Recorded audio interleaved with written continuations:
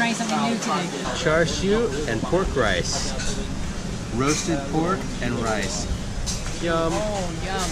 That cha cha chu. Very flavorful. Very good. The last time we came to Singapore, we got the tourist pass for the train. It's a three-day pass for $20 and it worked really good for us. But this time we've been using our Nets Flash Pay card.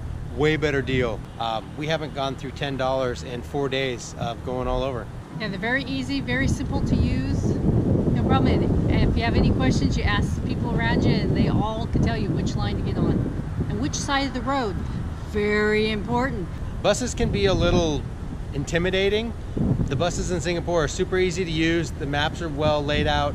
Behind us here is Sentosa, giant amusement park in Singapore. We're not going in there because it's expensive. And Vivo City is a cool mall. Bye for now.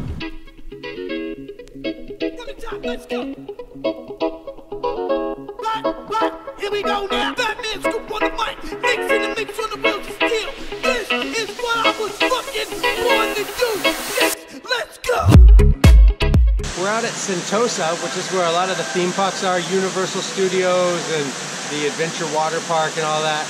And there is a ton of free stuff to do out here. It is so much fun to be had out here. Yeah, it's amazing. I am impressed that they let you in to see all of this. We were just noticing like there's pharmacies and stuff here. There's like Watson's Pharmacy you find all over Singapore. The prices here at the theme park are exactly the same as they are all over the rest of town.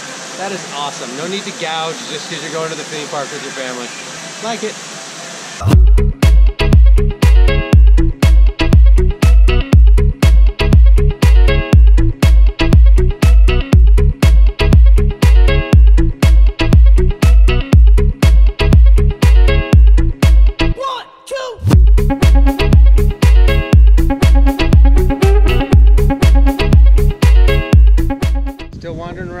Around the of Sentosa and now we're out at the beaches. That is the southernmost point of mainland Asia. And that is pretty cool. Around each corner, there is always amazing things in Singapore. It's beautiful here.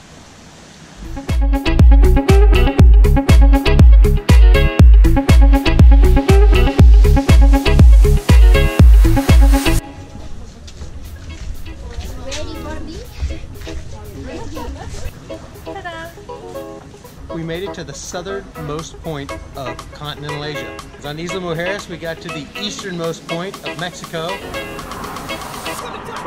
Jets!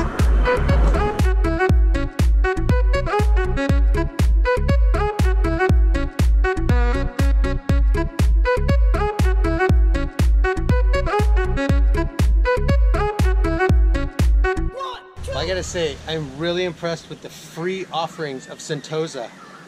There's so much to do. The beaches are free. There's so much exploring and cool things to see here that are free. We're gonna go to the theme parks one day, but not today. anyway, Sentosa gets a major thumbs up Yes. for the uh, free activities. We got here on the bus, so it cost us like a dollar. We had to walk a bit, but it was worth it. Oh, there's so much to see along the way.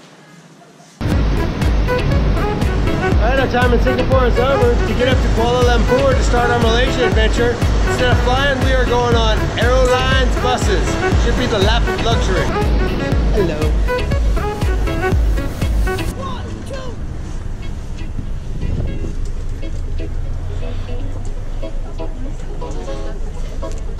Hello. This will work.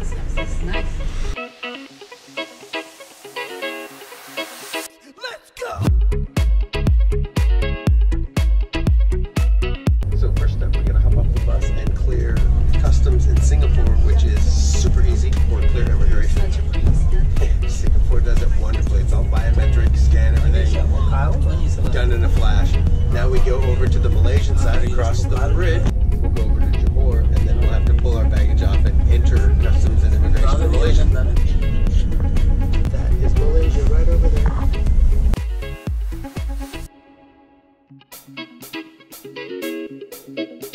If you like our video, Click the thumbs up and subscribe. No, that was good.